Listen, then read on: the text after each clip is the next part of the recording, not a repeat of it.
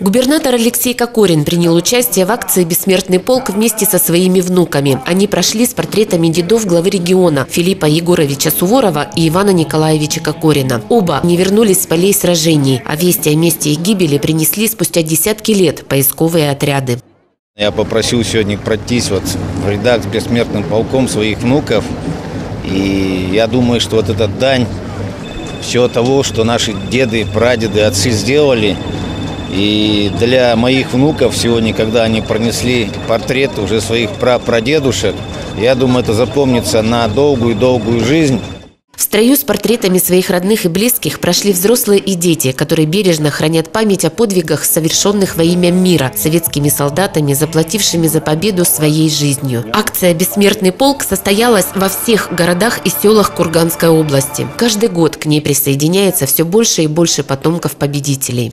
Посмотрите, сколько народу участвует сегодня вот в акции «Бессмертный полк». На самом деле, кому пришла мысль вот в голову по проведению этой акции, наверное, это очень-очень добрый и святой, порядочный человек. И самая лучшая в мире патриотическая акция, которая всех нас э, сплотила воедино, независимо от политической принадлежности, от вероисповедания. Светлана Епифанова, Александр Менщиков, Александр Карпов, информационное агентство «Курган.ру».